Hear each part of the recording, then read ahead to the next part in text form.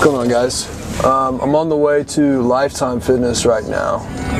I'm actually supposed to meet uh, some buddies down there so we can get a lift in. Um, I'm not sure what they want to hit today, but uh, these are some guys who are trying to get back to it. Um, people that know me go to school with me, there'd probably be some familiar faces to you.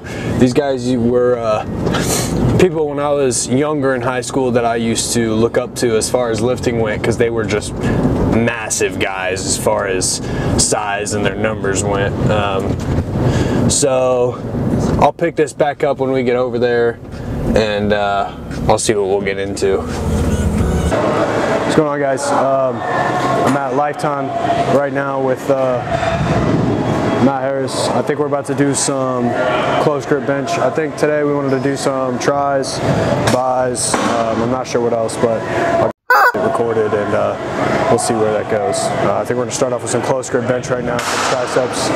So uh, I don't know how heavy we'll go with that today, but I want to try to get two plates. So